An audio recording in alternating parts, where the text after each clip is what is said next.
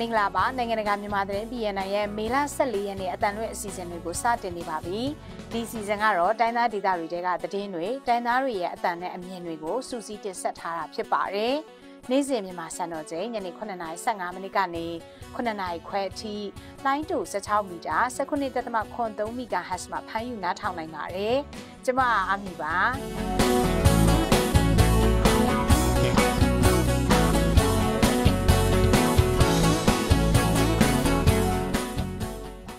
ဒီနေ့သတင်းတွေထဲမှာတော့အင်အားပြင်းမူခါမုန်တိုင်းဟာရခိုင်ပြည်နယ်ကိုဝင်ရောက်တိုက်ခိုက်ခဲ့ပြီးလူအများပြားဟာဘေးအန္တရာယ်ကိုတိမ်းရှောင်နေကြရပါတယ်။ မုံတိုင်းဘေးအန္တရာယ်ရှိနေတဲ့အချိန်မှာပဲတနင်္သာရီတိုင်းရေဖြူမြို့နယ်အတွင်းမှာတော့စစ်ကောင်စီတပ်က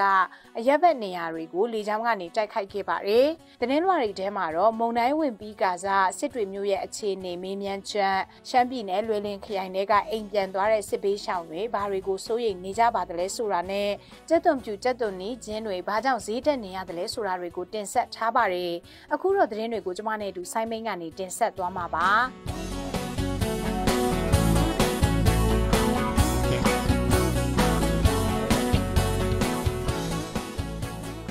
အင်အားပြင်းထန်တဲ့မိုခါမုန်တိုင်းဟာဒီနေ့နေ့လယ်ပိုင်းကစပြီးရခိုင်ပြည်နယ်မြို့နယ်တော်တော်များများကိုဝင်ရောက်တိုက်ခတ်နေလို့ရခိုင်လူထုတိုင်းကနဟာပေးလို့ရကိုထွက်ပြေးသိမ်းရှောင်နေကြပါတယ်။မုန်တိုင်းတိုက်ခတ်လို့ဒီကနေ့မေလ14ရက်နေ့နာနဲ့9:20မိနစ်ခန့်ကတန်တွဲလေစိတ် VIP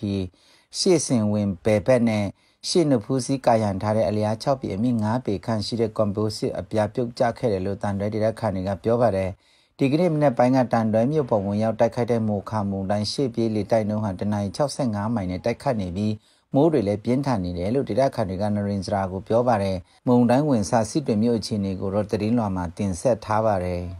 အားလွန်ကောင်းတဲ့မုံတိုင်းအနေရရှိနေချိန်မှာပဲတနင်္သာရီတိုင်းဒေသကြီးရေဖြူမြို့နယ်နဘူးလေဒေသကိုစစ်ကောင်စီတပ်ကတိုက်လေရင်နဲ့ဘုံကျဲသွားတယ်လို့တနင်္သာရီတိုင်းပကဖတာဝန်ရှိသူတွေကတန်လွင်ထိုင်းကိုပြောပါတယ်နဘူးလေကျေးရွာမှာရှိတဲ့ဒဝဲအထူးစီးပွားရေးဆောင်အနီးမှာစစ်ကောင်စီတပ်နဲ့ပြည်သူ့ကာကွယ်ရေးပူးပေါင်းတပ်ဖွဲ့တို့အကြားဒီနေ့မေလ14ရက်နေ့မနက်ပိုင်းမှာနှစ်ဖက်တိုက်ပွဲပြင်းထန်ခဲ့ပါတယ်အဲ့ဒီတိုက်ပွဲအတွင်းအထိနာနေတဲ့စစ်ကောင်စီတပ်ဟာဒီနေ့မနက်၈နာရီခွဲအချိန်လောက်မှာတော့နဘူးလေရွာအနီးကိုလေကြောင်းပစ်ကူပေးခဲ့ပြီးတော့ဘုံကျဲတိုက်ခိုက်ခဲ့ပါတယ်ကရင်ပြည်နယ်မြဝတီမြို့အနောက်မြောက်ဘက်ကြောက်တောင်ဖျားကုန်းဘက်မှာကရင်မျိုးတပ်လူမျိုးရေးတပ်မတော် KNL ပူပေါင်းတပ်နဲ့စစ်ကောင်စီတပ်တို့အကြားတိုက်ပွဲပြင်းထန်နေပြီးနှစ်ဖက်ထိခိုက်ကြဆုံမှုတွေရှိနေတယ်လို့ကြားသိရပါတယ်စစ်ကောင်စီတပ်နဲ့နယ်မြေခံ BGF ပူပေါင်းတပ်ဖွဲ့ဘက်ကစစ်ကြောင်းထိုးလာလို့ KNL ပူပေါင်းစစ်ကြောင်းတွေနဲ့မေလ12ရက်နေ့ကစပြီးဒီကနေ့ထိတိုက်ပွဲတွေဆက်တိုက်ဖြစ်ပွားနေတာပါ ကြောက်ကူတောင်ဗျာကုန်းဘက်ကိုစစ်ကောင်စီတပ်ကလက်နက်ကြီးတွေပစ်ခတ်နေတာနေရရှိနေပြီးစစ်ကြောင်းထိုးလာတဲ့စစ်ကောင်စီတပ်နဲ့လည်းဒီကနေ့နေ့လေခင်းထိတိုက်ပွဲဖြစ်ပွားလျက်ရှိနေပြီးစစ်ကောင်စီနဲ့ PGF ပူပေါင်းတပ်ဖက်ကအကြဆုံးများတယ်လို့စစ်မြေပြင်တင်က KIC ကိုပြောပါတယ် ချင်းပြည်နယ်ဟာခါမြို့နယ်ဇိုခွာကျေးရွာအနီးမှာစစ်ကောင်စီတပ်ဖွဲ့နဲ့ချင်းကာကွယ်ရေးပူးပေါင်းတပ်ဖွဲ့တို့အကြားဒီရက်ပိုင်းအတွင်းတိုက်ပွဲဇက်တိုက်ဖြစ်ပွားနေလို့စစ်ကောင်စီဘက်က၁၁ယောက်သေဆုံးခဲ့တယ်လို့ချင်းကာကွယ်ရေးတပ်ဖွဲ့ဘက်ကခေါနုတုံကိုပြောပါတယ်။မနေ့ကမေလ23ရက်နေ့တရက်တည်းမှာပဲတိုက်ပွဲက3ကြိမ်ဖြစ်ပွားခဲ့တာဖြစ်တယ်လို့လည်းပြောပါတယ်။မကွေတိုင်းဂန့်ကောမြို့နယ်ဘက်ကနေတက်လာတဲ့စစ်ကောင်စီတပ်တမခွန်ခွန်နဲ့ဟာခါမြို့ကနေအားဖြည့်ပြီးတော့တမခွန်ခွန်ကိုတွားကြိုတဲ့တပ်ဖွဲ့တို့ကဟာခါမြို့ဘက်ကိုဦးတီလာရာတောပိုင်းလမ်းကြောင်းတစ်လျှောက်မှာချင်းကကွယ်ရေးပူးပေါင်းတပ်ဖွဲ့တွေကစောင့်ကြိုတိုက်ခိုက်ခဲ့ကြတာဖြစ်ပါတယ်။အင်အား90ဝန်းကျင်လောက်သာကျန်တော့တဲ့တပ်မခွန်ခွန်နဲ့ဟာခါမြို့ကနေစစ်ကူသွားတဲ့အင်အား80လောက်ပါတဲ့အဖွဲ့တို့ကိုဇိုးခွာရွာနဲ့ဆက်တာကျေးရွာအကြားမှာချင်းကကွယ်ရေးပူးပေါင်းတပ်ဖွဲ့တွေကခြုံခိုတိုက်ခိုက်ခဲ့ကြတာဖြစ်ပါတယ်။ နားဆင်ခဲ့ရတာကတော့ BNI Radio ရဲ့နေ့စဉ်သတင်းအစီအစဉ်ပဲဖြစ်ပါတယ်။ဒီအစီအစဉ်ကိုတော့နေ့စဉ်မြန်မာစံတော်ချိန်ည9:15မိနစ်ကနေ9:00ခွဲအထိ15မိနစ်ကြာထုတ်လွှင့်သွားမှာဖြစ်ပါတယ်။ အခုဆက်ပြီးသတင်းလွှာတွေကိုတင်ဆက်ပြီးသွားမှာပါဘင်္ဂလားပင်လယ်အော်မှာဖြစ်ပေါ်နေတဲ့အင်အားပြင်းမိုခါမုန်တိုင်းကဒီကနေ့နေ့လယ်12နာရီခွဲလောက်မှာစစ်တွေမှာတိုက်ခိုက်သွားခဲ့ပါတယ်။မုန်တိုင်းဝင်လာတာနဲ့မြေပြင်အခြေအနေတွေကရှုပ်ထွေးပြီးအဆက်အသွယ်တွေလည်းပြတ်တောက်သွားခဲ့ပါတယ်။နရင်ကျရာအေးမြက်ခိုင်ကမုန်တိုင်းကယ်ဆယ်ရေးလုပ်ငန်းတွေကိုဥဆောင်ပြီးတော့လုပ်နေတဲ့ဆရာဝင်းဟင်အောင်နဲ့အဆက်အသွယ်ရပြီးမေးမြန်းထားတဲ့အပေါ်အခြေအနေကိုသူကအခုလိုမျိုးစပြောပါတယ်။ စားတင်ဝင်ရောက်နေတာမဟုတ်ဘူးဗျဘုံတိုင်းကဖြတ်ကိုဖြတ်နေတာဘိုးရှမ်းမကိုဖြတ်နေတော့အခုချိန်ကဒီအိမ်တွေတော်တော်များများအိမ်ရဲ့ဒီဟိုဟာဒီအိမ်မှာငကိုကလေးကဟိုဒီသမိုးတဲ့အိမ်တွေတော်တော်များများအများစုဟာတက်တွေကအကုန်လုံးလည်သွားပြီးပြီအပင်ကြီးထက်ကြီးတော်တော်များများကျိုးသွားပြီးပြီအခုနောက်ကနေကျွန်တော်ကိုသုခမိန်ဆိုင်ဘက်ကနေအဲဒီကသွားကနေကျွန်တော်ကိုလှမ်းပြီးအကြောင်းကြားတယ်အခုအဲ့ဒီဘက်ကိုစားပြီးတော့ရေတက်လာတယ်ဆိုပြီးတော့ကျွန်တော်ကိုဖလင်းလုံးဖလင်းလုံးပြီးပြောတယ်လက်ရှိကဒီအနိနာတောင်ဝင်းကျင်မှာရှိတဲ့တစ်သားနဲ့ဆောက်ထားတဲ့အိမ်တွေတော်တော်များများကလုံချုံမလုံးဝမရှိတော့ဘူး ပြီးတော့ဒီအချိန်တွေမှာလမ်းမှာလူထွက်သွားလို့လုံးဝမရတော့ဘူးလမ်းကိုလူထွက်တာနဲ့ဟိုအသက်အနေဟိုစတေရှင်လမ်းကိုထွက်ဆိုတဲ့ပုံစံမျိုးဖြစ်သွားပြီဟုတ်ကဲ့ပါဆရာအဲ့ဆိုလို့ရှိရင်အခုလက်ရှိမှာစစ်တွေမှာလည်းပျက်စီးမှုတွေအများကြီးမြင်ရပါတယ်ဆရာအဲ့တော့နေအိမ်အများစုပေါ့နော်ပျက်စီးနေတာတွေ့ရတယ်လို့ပြောပါတယ်ဆရာအခုအခြေအနေအရဆိုလို့ရှိရင်ပျက်စီးမှုအခြေအနေဘယ်လောက်လောက်ရှိရဲလို့ပြောနိုင်ပါလဲစတေရှာရာကဟိုဒီအုံနဲ့ဆောက်ထားတဲ့အိမ်တွေကတော့ဟိုအုံနဲ့ဆောက်ထားတဲ့အိမ်တွေကတော့ကျန်မယ်ဒါပေမဲ့အုံနဲ့ဆောက်ထားတဲ့အိမ်ဖြစ်ပေမဲ့သမိုးထားတယ်ဆိုရင်သက်တွေကတော့အကုန်လုံးလည်းကုန်မယ် ပြီးရင်ဟိုအဆွမ်းဖြားတဲ့ဒေတာဥမာဆိုကြေးရိုးလိုနေရာဒေတာတွေဥမာအဆွမ်းဖြားလိုနေရာဒေတာတွေကအအများစုဟာပြတ်မယ်လို့ကျွန်တော်ယူဆရတယ်စစ်တင်မျိုးရဲ့အခုခံမှန်းချက်ကျွန်တော်ခံမှန်းတာတိတိကျကျတော့မဖြစ်နိုင်ဘူးခံမှန်းချက်ရဆိုစစ်တင်မျိုးရဲ့လေးပုံပုံလို့တပုံလောက်ကတော့ပြည့်စည်သွားမယ်လို့ကျွန်တော်ယူဆရတယ်ပြောပြပေးတဲ့အတွက်ကျေးဇူးတင်ပါတယ်ဆရာအနေနဲ့ဗာများပြောချင်တာမျိုးရှိပါသေးလဲရှင်အဲဖြစ်နိုင်မယ်ဆိုလို့ရှိရင်မုံလိုက်ပေးကလွတ်တဲ့နေရာတွေဒါကကျွန်တော်တို့ညီကိုတွေပရာဟိတသမားတွေအနေနဲ့ဒီမုံလိုက်ပြီးရနဲ့ အမြန်ဆုံးပြန်လည်တင်ဆောက်ရေးကိုပြန်စားနိုင်ဖို့အတွက်အချိန်မင်းလှုပ်ဆောင်ကြပါ။စားနေရိတ်ခါတွေနဲ့ရေတွေလေးအချိန်မင်းလှုပ်ဆောင်ကြပါလို့ကျွန်တော်ကတော့မြစ်တရခံရှင်တယ်။ဘာလို့ဆိုရင်ဒီအပင်ခတ်တင်လေးတာနဲ့သက်တင်လမ်းမှာဟိုပလေးနာနဲ့ဆိုရင်ငကိုရှိတဲ့လူနဲ့ဒီလိုလမ်းတွေကိုပြန်ပန်ရှင်လုပ်ဖို့အတွက်လမ်းတွေကိုပြန်လည်ချေထုတ်ဖို့အတွက်ဘယ်လိုမှမဖြစ်နိုင်ဘူး။ဒါကြောင့်ဟိုမှာအဝေးမှာရှိနေတဲ့လူတွေလုံလုံချုံချုံရှိနေတဲ့လူတွေအစဉ်တင်းလုပ်ထားပါပြီးတော့ကွန်ဒီစီစင်မောရဒီသမိုးသက်တင်လမ်းသွားတဲ့သက်တင်ကနေပြီးတော့အချိန်မင်းကျွန်တော်တို့ဖာချိဖို့လိုမယ်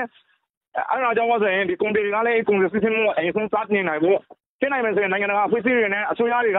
အစိုးရမှာ UL အစိုးရအပါအဝင်ကျွန်တော်တို့ဒီနာဆာကားတွေကိုလည်းကျွန်တော်တို့အကူအညီတောက်ရှင်နဲ့မြန်မြန်ဆန်ဆန်နဲ့အမြန်ဆုံးဒီဘေးကနေပြီးတော့ဆိုပြန်လည်နလန်ထူနိုင်ဖို့အတွက်ဝိုင်းဝန်းပြီးကိုစဉ်းစားကြဖို့အတွက်ကျွန်တော်မြစ်တဲ့ရခံတယ်လက်ရှိကတော့ကျွန်တော်မုံတိုင်းချင်းမှာမို့လို့မုံတိုင်းဖြစ်တာကိုတော့ကျွန်တော်ပြောလို့မရတော့ဘူးဒီချိန်မှာအသက်ရှင်တန်ရေးကိုပဲကျွန်တော်တို့လုံးမထုံနေရတဲ့အခြေအနေမျိုးကိုရောက်သွားပြီ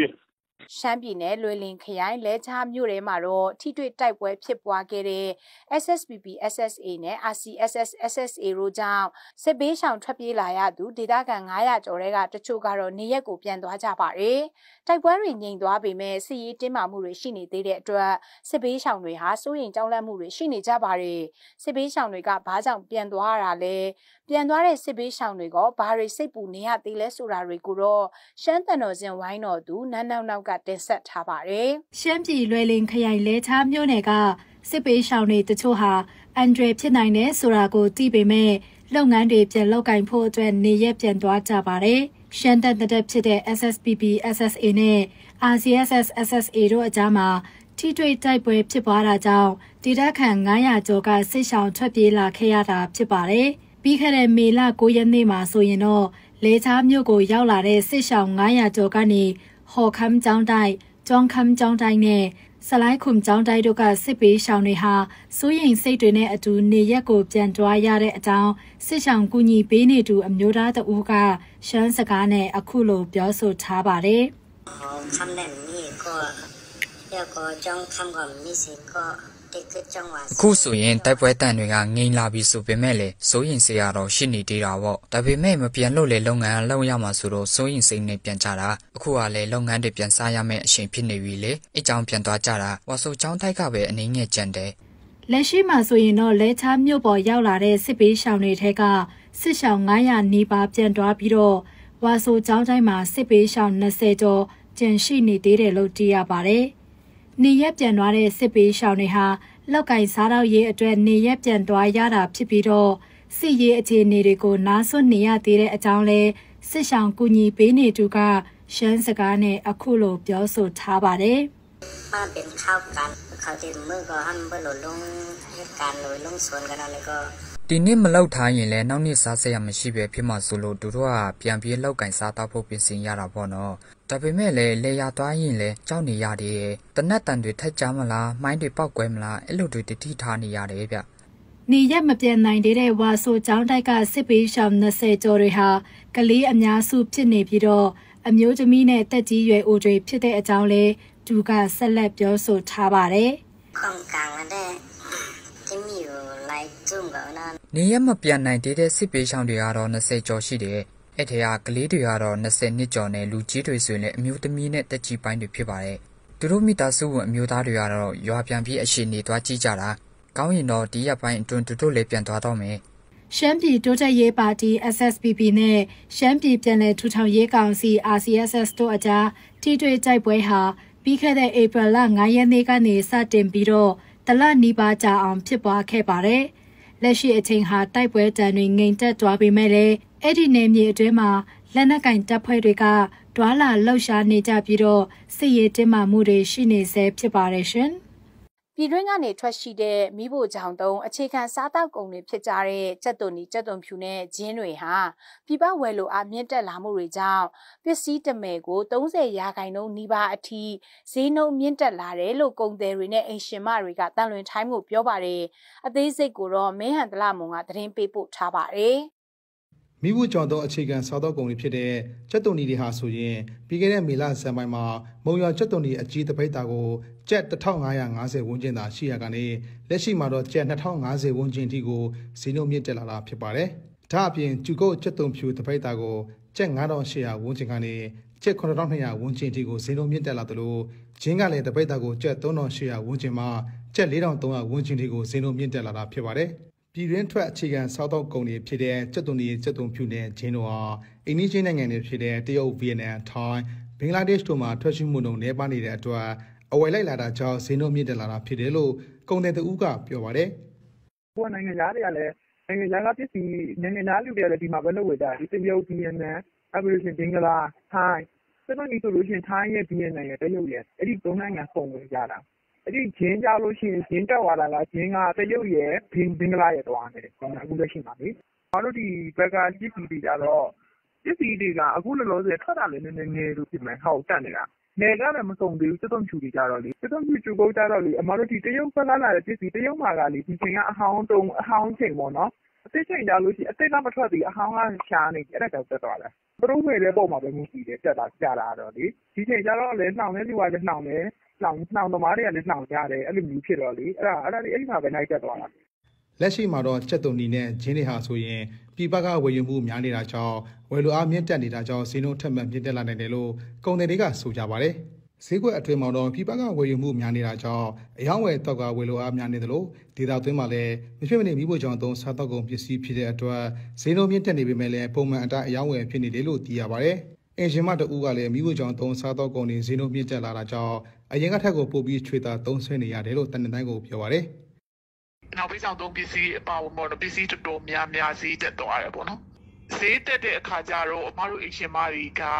ပတ်စံကိုပူချွေတာသုံးရတာပေါ့နော်ဒီနှုန်းက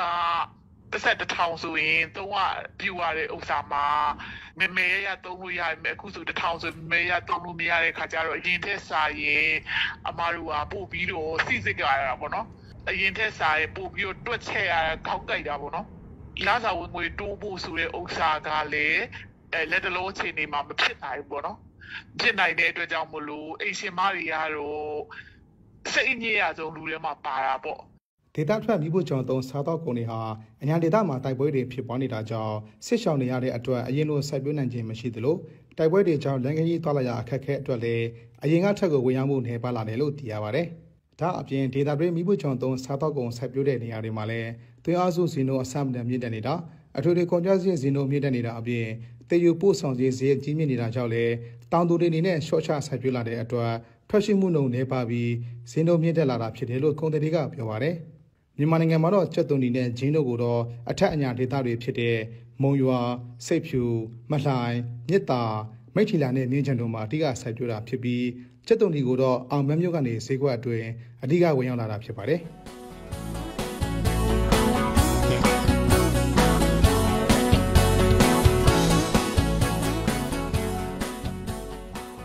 နားဆင်ခဲ့ရတာကတော့ BNI Radio ရဲ့နေ့စဉ်သတင်းအစီအစဉ်ပဲဖြစ်ပါတယ်။ဒီအစီအစဉ်ကိုတော့နေ့စဉ်မြန်မာစံတော်ချိန်ည9:15မိနစ်ကနေ9:00ခွဲအထိ15မိနစ်ကြာထုတ်လွှင့်သွားမှာဖြစ်ပါတယ်။နားဆင်ပေးကြတဲ့အတွက်ကျေးဇူးတင်ပါတယ်ရှင်။